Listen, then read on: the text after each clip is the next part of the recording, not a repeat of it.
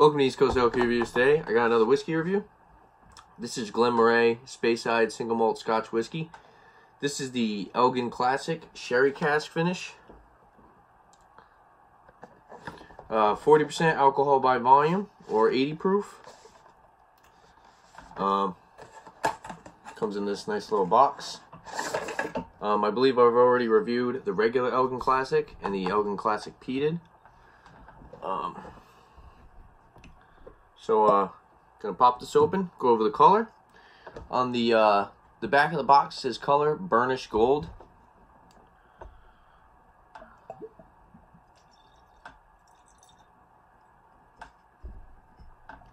So, uh, definitely a lot darker.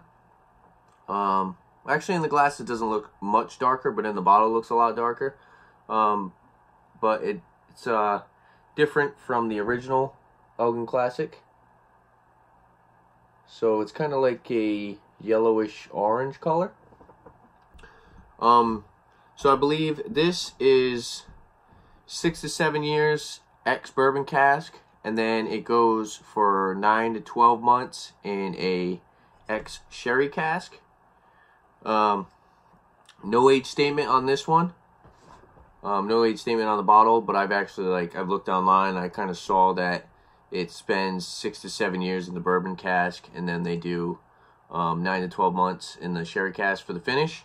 Um, yeah, nice color to it. Like I said, a little bit darker than the original Elgin Classic. Um, but uh, yeah, let's go for the aroma on this one. So on the nose, actually it has some tasting notes on the back. Just go over those quick before I start diving into this one. Um, so it says nose bursting with dried fruits, cinnamon, and toffee candy. Taste incredible layers of sweet vanilla oak, dark chocolate, and oriental spice. Finish satisfyingly long with a tingle of spice. Um, but yeah, let's go for the aroma.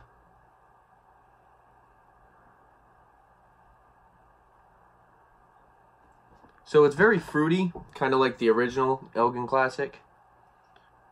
So I'm getting like citrus, uh,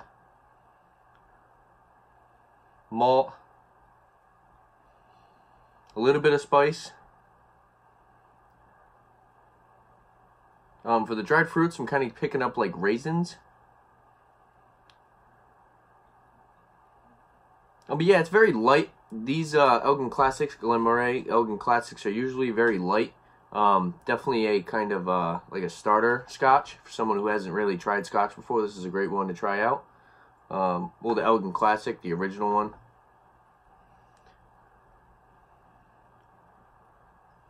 Uh, but yeah, like I said, very uh, it's uh, on the nose, very malty, fruity.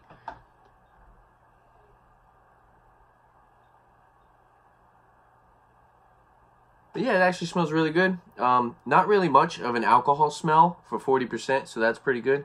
Um, the fruitiness kind of covers up that alcohol.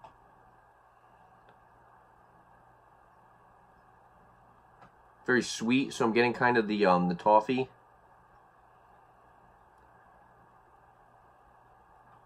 But uh, yeah, let's go for the taste on this one.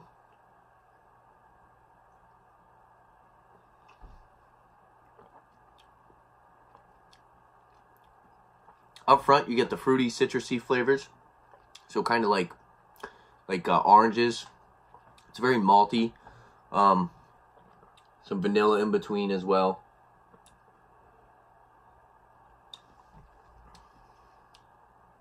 A very light palate. Um, nothing really jumping out on you, at you, I should say. Um, towards the finish, you get the spice. Um, so you're left with kind of like a cinnamon spice and some uh, some chocolate. You're getting a little bit of chocolate, not a lot of chocolate, just like a nice, decent dark chocolate on the finish.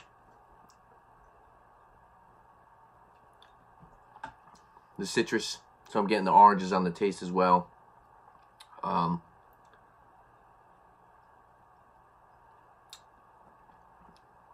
Very malty on the palate.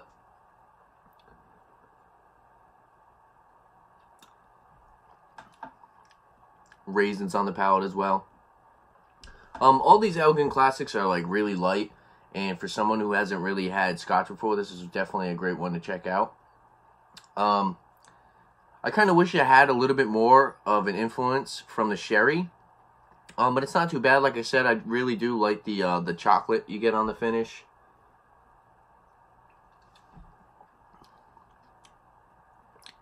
So I'm guessing like uh, that chocolate's coming from the sherry cask.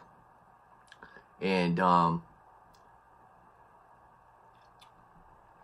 the vanilla and toffee's kind of coming from the, the bourbon cask.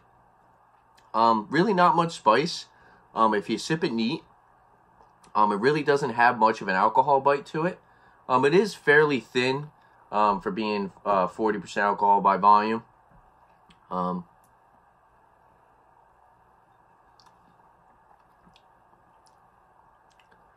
I actually really enjoy this one. And for the price, so price on this was $25, 25 US dollars. And uh, I mean, you can't go wrong.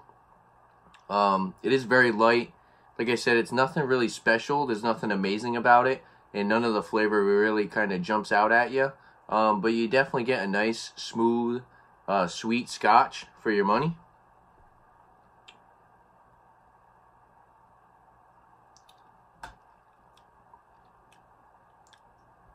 Really like the amount of fruitiness I'm getting from this as well. So really what I'm picking up is the fruity, um, the fruity flavor along with that chocolate finish.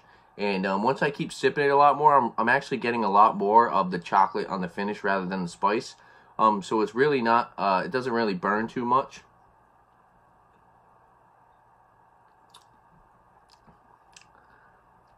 Yeah, I mean, I've had other uh, sherry cask finished scotches and they were a lot better than this, and I picked up a lot more of the flavors that you would get from the sherry cask. Um, but like I said, for something for 25 bucks, I mean, you can't go wrong with this. Um, somebody who doesn't really like scotch um, probably wouldn't uh, would enjoy this. Um, there's no peat to it at all, so there's no smoke. Um, so there's really nothing offensive in the flavor that might uh, make someone not want to drink it. If you had someone who's never tried scotch before try it. Um,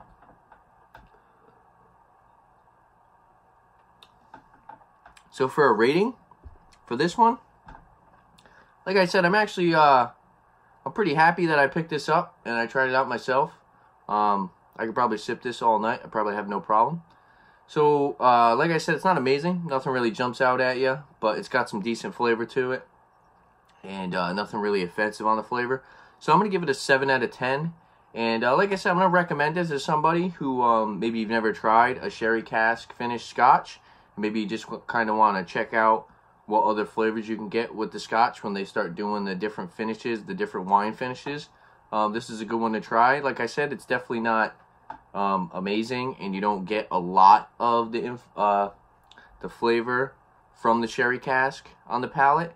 Um, but it's just a little bit, and I think it's a nice addition to the traditional Elgin Classic. And um, I actually really like the Elgin Classic itself. Um, that's a very affordable bottle as well. That's probably like, I believe that's like $24. Um, so I got this for about like a dollar more. And uh, yeah, like I said, I'm definitely uh, going to recommend it to somebody. Maybe if you want to try a scotch, if you never had scotch before. Um, think you would really enjoy this one. Um, maybe uh, you tried bourbon or something, or you tried uh, a peated scotch, and maybe both of those were a little too strong for you, and maybe you were kind of uh, put off by the taste, by the amount of flavor you were getting from them. Um, and this is a nice light one, light whiskey, um, that I think would appeal to a certain crowd of people. But uh, yeah, there you have it. If there's any other liquor beers that you guys like to see on my channel, definitely leave a comment down below. And don't forget to like and subscribe for more upcoming videos liquor beer. Thanks for watching. Cheers.